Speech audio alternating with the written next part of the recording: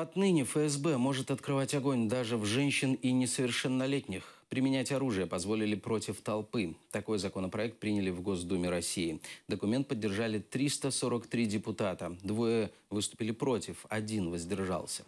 В закон вводится и новая статья. Сотрудникам ФСБ разрешается входить в помещение, чтобы обеспечить общественную безопасность во время массовых беспорядков.